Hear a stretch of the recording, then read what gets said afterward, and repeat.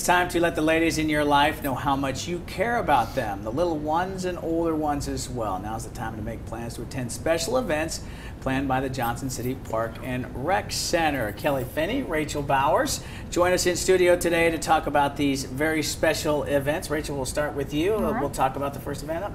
Uh, Mother's Day Tea is going to be on May 7th um, from 10 to 11. Just give you a chance to kind of do a little something different than just kind of your normal go out to eat. Um, we're going to have some tea, uh, different crafts for the mothers and daughters to take home with them, um, and lots of good uh, sweets to eat as well.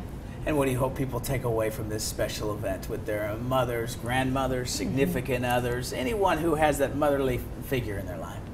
Yeah, we want to do something special for the mothers, and this is our first annual um, event for the for the Mother's Day. So we had a Dolly and me uh, tea back in August that was so successful. We wanted to to try this out and just let the moms know that or grandparents, whoever it is in, in their lives, that they are um, special and appreciated.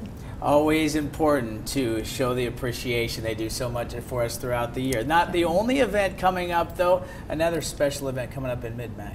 Yes, May 14th is Princess Ball from 1 to 3, and this is an event um, for your little princesses in your life, um, just to kind of give them a day to get pampered, get their hair done, and their nails and makeup. Um, lots of different crafts, um, and we'll also have a lot of special guests this year. So we're really excited about it. Um, we'll watch the movie Brave um, and have Princess Merida come. So we're really excited, hoping for a good turnout. And the princesses love this event, don't they? It's been going on for a while. It's a really special night for everyone. They do. Um, this is actually our fourth annual event. The first year we were so surprised um, to try it out and had about 100 people. So this year, I mean, last year we had 300, so we're hoping to grow it even more. So it's a large event. So we're asking for everybody to get their tickets ahead of time if they can at Memorial Park Community Center.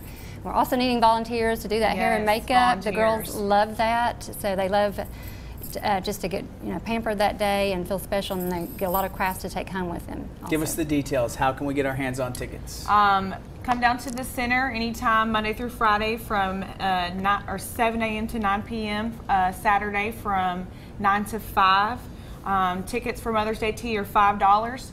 Princess Ball they are five dollars for the child and two dollars for the adult.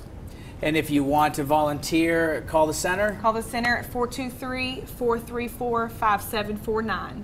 May, a big opportunity to head to the Memorial Park Community Center and pamper those women in your life, young and old. All the details on the screen to volunteer, buy tickets, make a date for the 7th, and then again on the 14th.